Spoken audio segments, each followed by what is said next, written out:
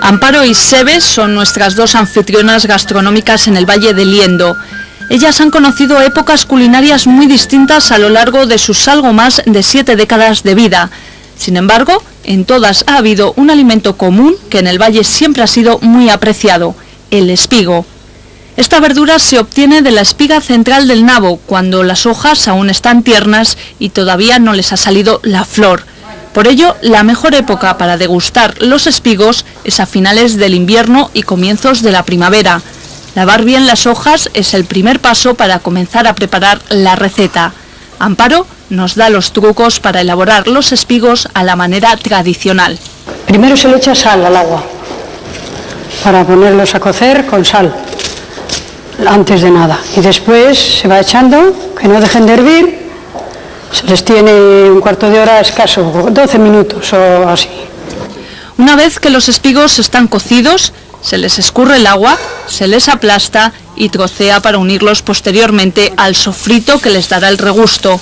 Amparo conoce esta receta desde que era niña. Desde niñas ya nuestros padres ya lo hacían. Y, seguimos esa costumbre porque es lo típico del pueblo este. Y son espigos, porque le llaman respigos por ahí en algún sitio, pero aquí son espigos.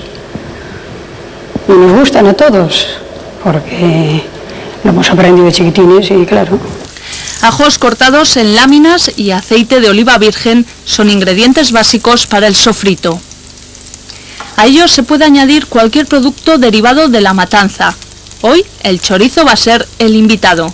Cuando esté bien frito se le añaden los espigos. Un par de minutos en la sartén y listo para comer. Hoy hemos hecho espigos con chorizo y torresno y ajos pero se puede hacer con huevo, o con hoja solo, o con tocino solo, con gambas partidas, y hasta arenques le echan algunos, ya conocéis los arenques. Pues hasta arenques le echan algunos sin echarle todo esto, vamos, los ajos sí, los ajos con todo ello. Y es de muchas maneras, se come aquí.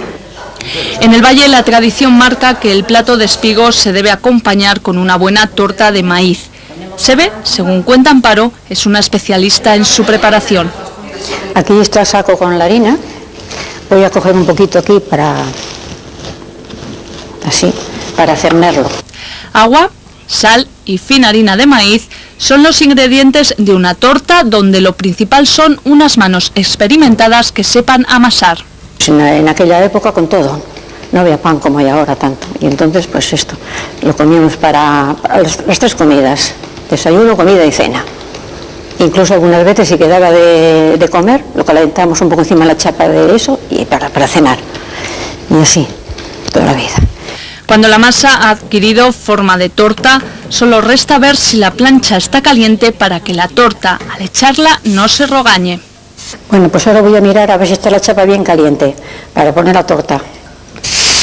Igual hay que esperar un poquito de más para cuando esté que esté en su punto para que si está fría queda fea. Y es mejor que esté cuanto más caliente.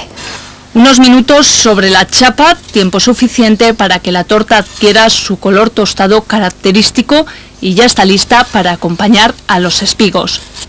Sebe y Amparo, que nos han enseñado cómo preparar tan exquisitas viandas, nos animan a que visitemos Liendo para que podamos degustar sus especialidades gastronómicas y conocer otros encantos del valle.